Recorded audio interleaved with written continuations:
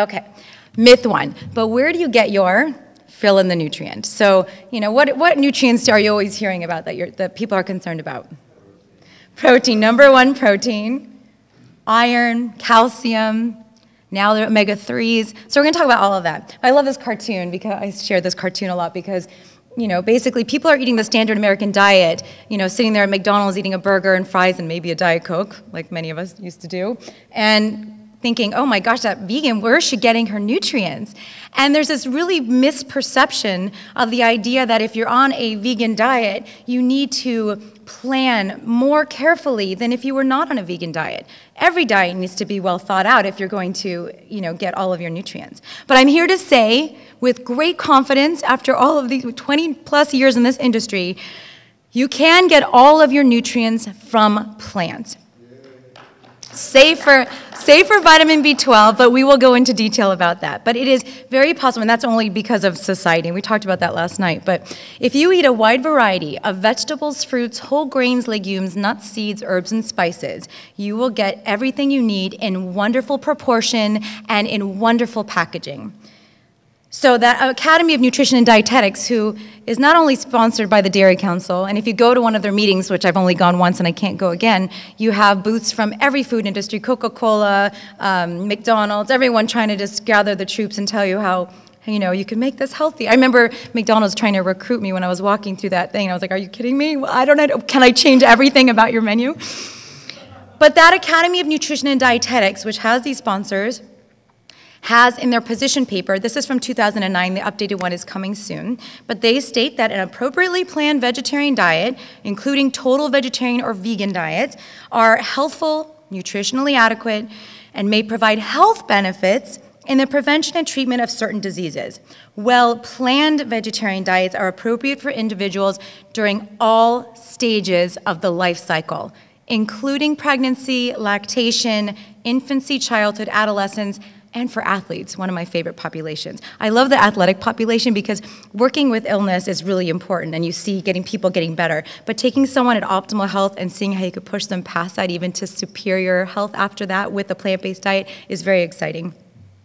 Is all exciting, in my opinion. But there are studies to show that, that vegetarian diets can be nutritionally adequate. This study looked at they compared a, a meat-eating diet to a vegetarian diet, and they showed that the vegetarian diets actually had higher intakes of the crucial nutrients fiber, vitamins A, C, E, thiamine, riboflavin, folate, calcium, iron, potassium than non-vegetarians. Well, guess what? In the Dietary Guidelines Scientific Advisory Committee report, those were some of the key nutrients that the standard American diet was lacking, and the standard American uh, population were lacking in these nutrients, but we can get those from plants. They also showed on the flip side of that that you're not taking in stuff like saturated fat, dietary cholesterol, and other things that we know are consistent with disease promotion.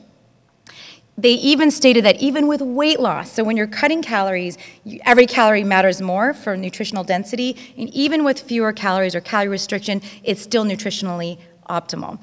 And by the way, the little thing about weight loss is but the secret to weight loss is a plant-based diet because you could eat more food. I love food. I love to eat more food for fewer calories and all nutrient dense. So this study looked at, they looked at those protective factors versus the pathogenic factors. And when you're eating plants, of course, you're getting this plethora, this beautiful natural plethora of phytochemicals like antioxidants that have amazing properties we'll talk to about in a minute, and fiber, and you're not getting the pathogenic factors. And there's a lot of them. This study compared five diets, so um, you know, going up in, in, animal product intake from vegan, no animals, vegetarian, eggs and dairy, semi-vegetarian, I don't know how they, they always calculate it a certain way, but it, it, varies depending on the study. A fish with a vegetarian, so fish and dairy and eggs, and omnivorous diet. And they looked at two healthy eating scores. One is called uh, Healthy Eating Index 2010, and the other one is a Mediterranean diet score. So it's a scoring system of how healthy the diet is. Well, they found that the vegan diet is the healthiest. I like to look at it as a spectrum because a lot of people come to me and say, I don't want to go vegan, will you work with me? And at first I was like, sure, I'll work with anyone. I want to help everyone. But then I started to realize that, you know, because the more plants you eat, the better you get, the more plants you want to eat and the less of the health damaging foods you want to eat. And that's where the result, it's like a dose dependent relationship. By the way, I have these graphics on my website, which is currently being updated. Um, so it's kind of the pictures are in and out, but I'm happy to send you any of my graphics, my pyramid, my plate. I think I've created them as tools that I, I want everyone to use because they've been helpful for me and my, my clients. This is my favorite way to look at nutrition nutrients. Now, this comes from Dr. T. Colin Campbell's A China Study, and he gratefully uh, gave me permission to reprint this in the vegetarian diet. And I just didn't want to reinvent the wheel because this was so brilliantly executed. He took 500 calories of plant foods, of a nice variety of plant foods. Actually, I'll tell you, they were tomatoes, spinach, lima beans, peas, and potatoes. And he compared that mi equal mixture to an equal mixture of 500 calories worth of beef, pork, chicken, and milk. And he stuck those in the nutrient processor, the calculator, and here's what it came out with. And it says it all, in my opinion, nutritionally speaking. Zero cholesterol in plants. You only get plants, I mean, you only get cholesterol from animal products. You get nine times the amount of fat in animals as compared to plants. But here's the kicker almost identical amounts of protein 33 versus 34. So if everyone's so concerned about protein, all they need to do is look at this. Of course, then they'll be like, well, that's one gram of protein, but that's ridiculous. Uh, fiber, there's only fiber in plants, 31 grams as opposed to zero. And then you've got twice the amount of iron, and it's, it's non heme iron in plants, which is optimal because it does, it's not oxidative like heme iron is, and twice the amount of calcium. So you can get everything better in plants. Here's another graphic I created as a handy guide. I have magnets of, of these, where it's just notable nutrient sources. So when people say, where do you get your protein? Where do you get your omega-3 fats? And here's just kind of a chart with all that information. It's on my website, plantbaseddietitian.com.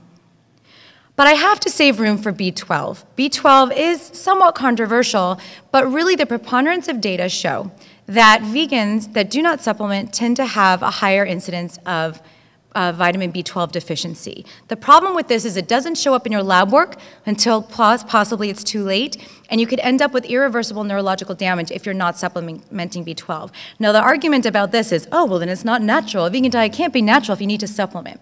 So, my answer to that is it is natural. It is found in the microorganisms in the soil, and unless you don't sterilize your food like most of us do, I like I don't like eating gritty what we were talking about last night, carrots. I don't like you know soil in my food, so we sterilize it. We clean everything very well. I don't. My garden doesn't grow because we have a big drought in California. Some people have figured out. I haven't. Uh, so you know, so it is natural, but the animals consume it. That's how it ends up in animals, and we're seeing B12 deficiency in all sorts of populations. As we age, we decrease our production of uh, intrinsic factor, which helps the absorption of B12. And so a lot of people, as we age, are less able to absorb B12. People with gastrointestinal issues. It is not an exclusively vegan issue, but it is necessary. And I, I go with uh, Jack Norris. He stratified everything based on this certain calculation, and I follow him and Dr. Michael Greger's recommendations of 2,500 micrograms a week from cyanocobalamin and that you could do it any way you want because it's a safe, easy, effective, it's water soluble, it goes in, what you don't need goes out. Uh, so you could do 1,000 micrograms three times a week or two to three times a week. You could do a 500 microgram uh, every day, but they're very easily absorbed and very easily utilized. And it's like an insurance policy, very cheap, and I highly recommend it if you're vegan.